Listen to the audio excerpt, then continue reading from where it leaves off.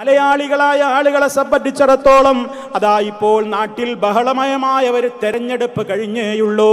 വോട്ടെടുപ്പ് പൂർത്തിയായി ഇപ്പോൾ ഇതുവരെ പല ഹീബത്തും നമീമത്തും പല ബഹളങ്ങളുമൊക്കെ പറഞ്ഞ് പല വിധത്തിലുള്ള പല പ്രവർത്തനങ്ങളിലേക്കും സമയം കളഞ്ഞവർ ഇപ്പോൾ വോട്ടെടുപ്പ് കഴിഞ്ഞു.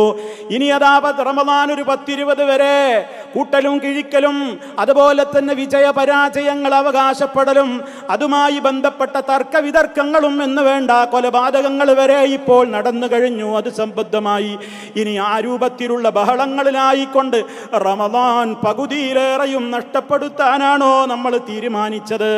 ഇനി അതാ റമദാൻ പകുതിയും കഴിഞ്ഞ് റിസൾട്ടുമൊക്കെ വരുമ്പോ ബാക്കിയുള്ള അവസാനത്തെ പത്ത് ദിവസങ്ങൾ അതാ വിജയിച്ച കക്ഷിയുടെ വിജയപേരിയും തോറ്റവരുടെ മറ്റുള്ള പ്രശ്നങ്ങളെ സംബന്ധിച്ചുള്ള ചർച്ചകളുമൊക്കെ പറഞ്ഞുകൊണ്ട് മൊത്തത്തിൽ ഈ റമദാനിന്റെ മുപ്പത് ദിവസങ്ങളും നഷ്ടപ്പെടുത്താനാണോ സഹോദരന്മാരെ ഗൗരവത്തോടെ ആലോചിക്കേണ്ട വിഷയമാണത്.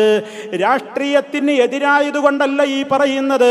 രാഷ്ട്രീയം ആവശ്യമാണ്. മതേതര ജനാധിപത്യത്തിന്റെതായ ആളുകൾ വിജയിക്കൽ ആവശ്യമാണ്. നമ്മോട് കരുണ കാണിക്കുന്ന സ്നേഹമുള്ള നല്ലവരായ നീതി ചെയ്യുന്ന ഭരണാധികാരികൾ ഭരണത്തിൽ വരൽ ആവശ്യമാണ്.